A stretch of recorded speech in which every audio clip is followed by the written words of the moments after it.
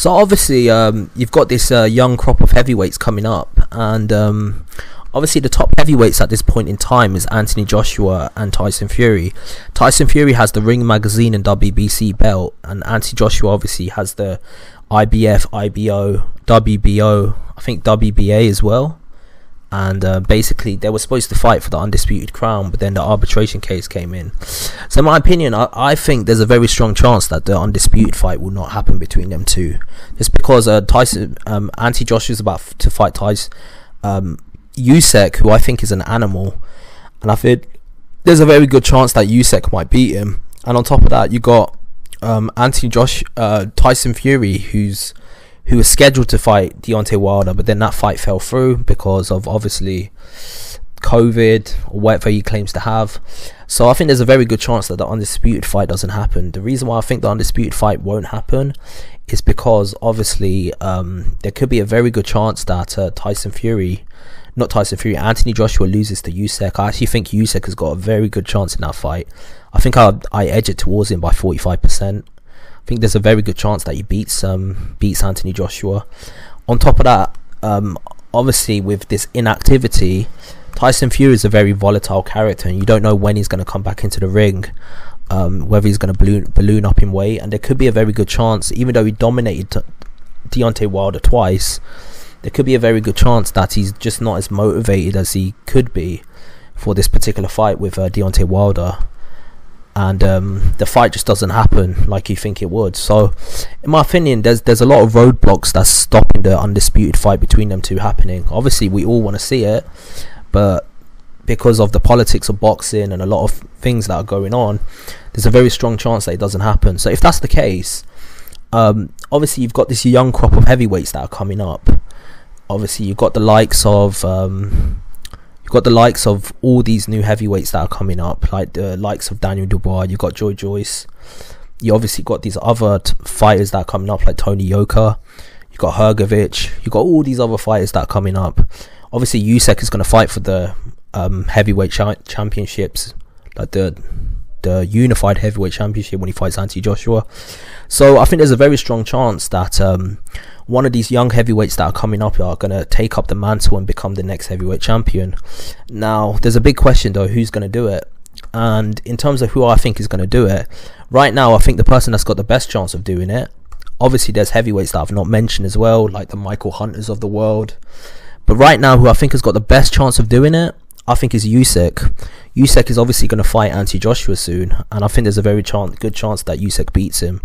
Now, the reason why I think Usyk is going to beat him is because Anthony Joshua has always struggled with movers. He's always struggled with fighters that know how to move. He's always struggled with shorter heavyweights. If you look at um, the person that he lost to, he obviously lost to Andy Ruiz. Andy Ruiz is a short heavyweight with a lot of hand speed. The one thing that Andy Ruiz doesn't have is he doesn't have the best movement. He's not the fastest on his feet or the most technically gifted when it comes to movement. And the one fighter that is very technically gifted when it comes to movement is Usyk.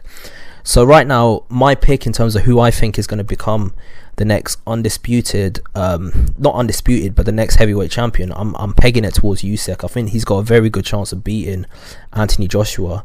In terms of the politics, I think the politics are going to be on Anthony Joshua's side, just because if you look at the fight with um, with Povetkin, the scorecards were heavily skewed in um, Anthony Joshua's favor. Although in my own card, I had uh, Povetkin winning by probably two rounds. So going up to the sixth round, I had Povetkin winning by four rounds, and I think Anthony Joshua won two rounds. If you look at the Vladimir Klitschko fight, I had um, Vladimir Klitschko winning up to the point where he got knocked out as well. So I think the only way that uh, Usyk beats Anthony Joshua legitimately, it doesn't get robbed on the cards, is if he knocks him out. That's the only way I think it's going to happen. If that doesn't happen, then there's just no way that um he, they're, they're, gonna they're gonna actually fight each other like he, he's gonna get the win do I think Usyk can knock out Anthony Joshua I think there's a very good chance that he can do that there's another fighter that's on the roster that we recently saw fight and that's uh, Joe Joyce now Joe Joyce I think has a very good chance of winning the heavyweight title I think he loses to Usyk, but I think if he fought Anthony Joshua, he there's a very good chance that he beats him. The reason why I think that is because Joe Joyce has got a better stamina than Anthony Joshua. On top of that, he's got a better chin. On top of that, he knows AJ very well. They used to spar together as well.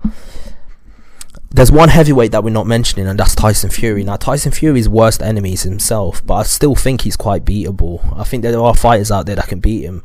The likes of a Michael Hunter, I think Michael Hunter could give him a very good fight. Hrgovic can give him a very good fight. Usyk can give him a very good fight. So these are several fighters that I think could easily beat the top undisputed fighters, and I think there's a very good chance that they can come up on top. In terms of Hrgovic, um, they've all got a long way to go, but I think there's a very good chance that we could see a changing of the guard. These fights that nobody thinks nothing of, but somehow they come along and they just uh, cause an upset, and before you know it, the heavyweight champion is uncrowned. There's there's a new new face in the division that's taken over. And obviously, I think the changing of that guard is likely to happen when Anti Joshua fights Usyk. I think there's a very good chance that Usyk beats him. So yeah, that's my opinions. What's your opinions? Who do you think is going to come out on top in terms of this heavyweight division? The likely thing is, the funny thing is, there's fighters that we've not even mentioned. I think um I think that, there's fighters like Efe Ajagba, Tony Yoka. Um, you got other heavyweights that are coming up that people are not even mentioning. They they could easily cause an upset. The heavyweight division is known for upset because obviously you've got these fighters that are fighting with like these small gloves. On top of that, all it takes is one punch I mean, any of these heavyweights can easily have a Buster Douglas or Hashim Hasim Rahman moment where they just land one lucky punch and knock out the heavyweight champion. It can easily happen, especially with these heavyweights that are really big. So, in my opinion, um, that's what I think is going to happen. I think someone's going to come along and they're just going to upset the apple cart and just knock someone, one of these heavyweights out. The person that's most likely to do it at this point in time is um, anti, um, Alexander Usyk because obviously he's got his shot against Anthony Joshua, and I think there's a very good chance that he can win that fight if he doesn't get knocked out and if he doesn't let it go to the cards and he won't get ro- and he doesn't get robbed. There's a very good chance that he can beat AJ. Whether it happens or not, whether he can fulfill his potential and do it, is another question indeed. But there's there is a strong chance that he can do it. So yeah, that's my opinion. Tell me your opinion. Who do you think will win this particular fight if they were to fight? And um, like and subscribe to the channel um, I've got a lot more content coming your way. Peace out.